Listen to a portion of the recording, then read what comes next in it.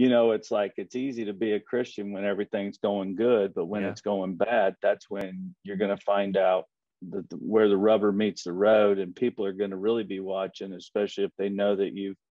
you've made a commitment to Christ, and okay, let's see how he responds, and you know the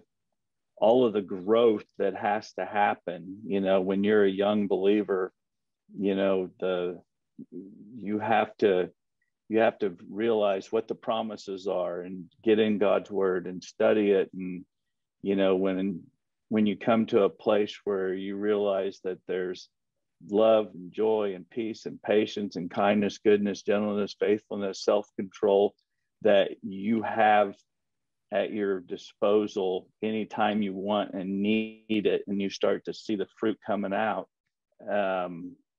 it- it's pretty impactful especially when it's during trials and that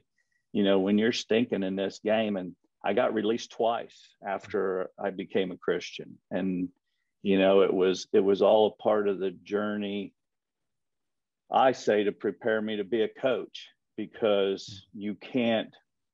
no player can go through any part of his career that i haven't walked through as well